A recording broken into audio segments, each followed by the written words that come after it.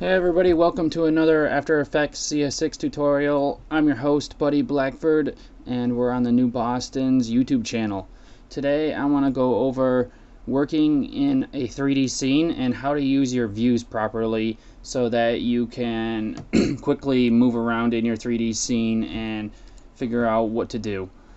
So, I mean, the first thing we should probably do is set up another 3D scene. So I'm going to start from uh, scratch here and set up another 3D scene in case um, you guys haven't seen previous tutorials where I have done that. So let's just start out. I uh, imported an object here so we can have something to use as a reference and move around in 3D space. So the first thing we want to do is make sure this cube here is checked. This makes it a 3D layer. And we want to make sure our background layer here, if you want to create one, is not in 3D.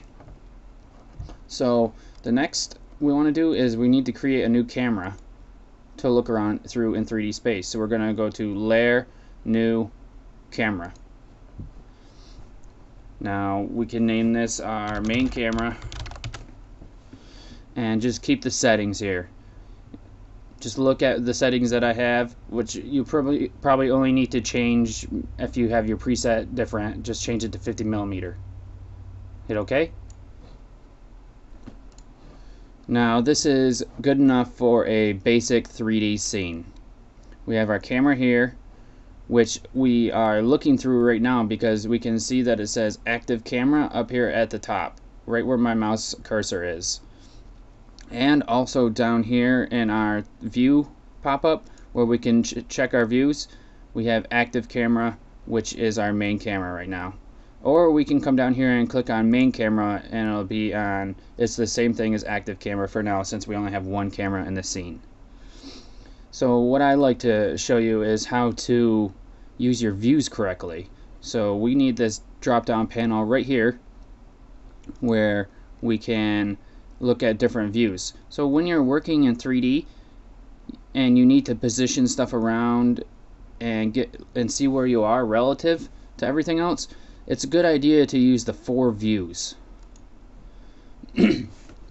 now you'll have your main camera up here in the right and this is what this is what your camera is seeing and then up here is the top which is a very um, very useful view uh, it's very good for seeing look you're looking from the top of the scene down so you're seeing where your objects are in space. The uh, right view over here you're looking from the right from the right of the camera on and uh, it's good for seeing where your things are in space from left to right And then you've got your front view here where you can see that this little box right here in the middle, that's your camera. You're going to be able to see everything in the front view. And it's different from the main camera view because you can actually see where your camera is uh, in like relative to where your other objects are. So when I click on my uh, my uh, picture here, you can tell which one you have clicked by one using your color guide here. So if you click on this color you can change it if you if you would like. So if I change it to yellow it's going to be yellow up in your uh, selection. So you know that this right here is your picture even though you can't see it because it's head on. Now you can move your object in 3D space by going such as this. Moving in in the uh, view panels here. And you can also move down here in your uh, regular properties panels.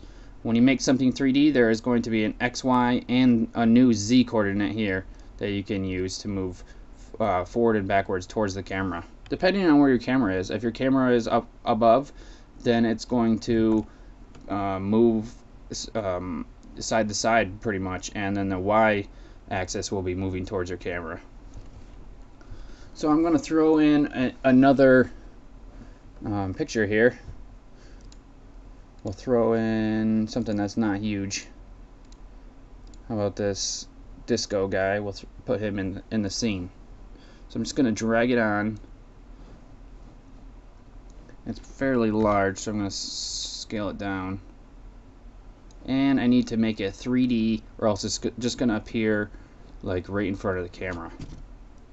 So I made it a 3D layer. And now you can see that this layer, which is uh, color purple, is now behind this other layer. So now you can see how being able to move this way relative to the squish marker here. If you try to do this all in one camera view, let me go back to one view. It might be hard to tell exactly where you are relative to to the to the other things in the scene. It's it's definitely possible, but if you're over here on the side, there's no way you can tell how far away you are. If you're behind, you can definitely tell. But, I mean, if I scale this up, it might look like it's closer now. If you get what I'm saying there. So use your views to figure out where you are in the scene. Now if I move my camera, oh, wrong one, need the uh, track Z. I'll go over these later on. You can see now that it's definitely behind the other the other uh, squish that the other uh, image there. So that's a pretty basic overview of how to use your views.